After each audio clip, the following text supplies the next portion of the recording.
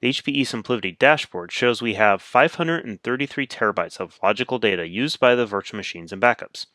SimpliVity deduplicates, compresses, and optimizes all data through its entire life. In this cluster capacity is reduced by a factor of 86.6 to 1. This is more than half a petabyte in savings of capacity and I.O. To create a backup of this 489 gigabyte virtual machine is as simple as three clicks. Right click on the virtual machine, click on Backup Virtual Machine, and click on OK. By using deduplication in a holistic manner, HPE SimpliVity was able to create a full logical backup of that virtual machine in just 3 seconds. Simple, right? Performing a restore of an HPE SimpliVity backup is just as easy as taking a backup and almost as fast. This restore takes no additional capacity and no I.O., since it takes advantage of deduplication to make the operation highly efficient.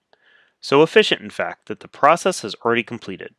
A full 489 gigabyte virtual machine restored in only 4 seconds.